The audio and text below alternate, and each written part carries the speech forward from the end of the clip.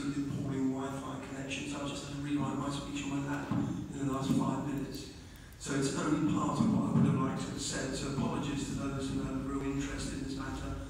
Um, I do have that, I'm hoping when I go somewhere with a reasonable Wi-Fi connection, I might make a retreat. Um, but uh, I'll just briefly say that and keep to time. Um, I'm not wedded um, to the past uh, at all. Said that uh, change is the only constant in 550 BC, and I think I've always used it as my watchword. We've got an opportunity here to, make something new of this gas holder, whether in its current location, everyone keeps talking about its current location, or taken down and reassembled elsewhere on the peninsula, or in the Borough General. I've researched alternative usage across the whole of the EU. Uh, our nearest one is at King's Cross.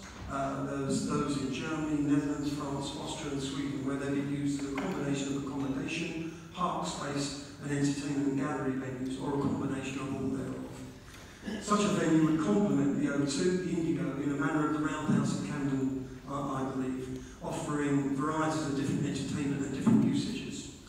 I believe also that the RBG could instigate with other people, for example, major developers in the area, an international competition that would attract the interest of international architects and designers.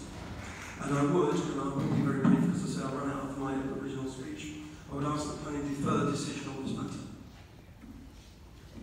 Thank you. Um, can I just um, highlight